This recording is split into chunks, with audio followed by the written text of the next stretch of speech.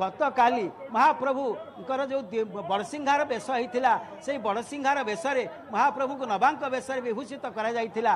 ଏହି ବେଶ ଗୋଟିଏ ସୁନ୍ଦର ବେଶ ଆପାଦ ମସ୍ତକ ମହାପ୍ରଭୁ ଗେଣ୍ଡୁ ଫୁଲର ମାଳରେ ବିଭୂଷିତ ହୋଇଥାନ୍ତି। ଏଇ ଯେଉଁ ନବାଙ୍କ ବେଶ ସରିଯାଇଛି ଆଜି ମହାପ୍ରଭୁଙ୍କର ଉତ୍ତରାୟଣ ଯାତ୍ରା ଅନୁଷ୍ଠିତ ହେଉଛି ଶ୍ରୀମନ୍ଦିରରେ। ସେଥିପାଇଁ ଶ୍ରୀମନ୍ଦିରରେ ସ୍ୱତନ୍ତ୍ର ନୀତିକାନ୍ତିମାନ ଅନୁଷ୍ଠିତ ହେଉଛି। ମହାପ୍ରଭୁଙ୍କର ଯେତେବେଳେ ସକାଳ ଧୂପ ସରେ ସେତେବେଳେ ମହାପ୍ରଭୁଙ୍କୁ ଏହି ଦିବ୍ୟ ବେଶରେ ବିଭୂଷିତ କରାଯାଇଥାଏ ମକର ବେଶରେ। ମକର ବେଶରେ ମହାପ୍ରଭୁ ତ୍ରିମୁଣ୍ଡିରେ ଚୂଳ ଧାରଣ କରିଥାନ୍ତି। ଅନେକ ବିଭିନ୍ନ ପ୍ରକାର ଫୁଲ ମଧ୍ୟ ଧାରଣ କରିଥାନ୍ତି।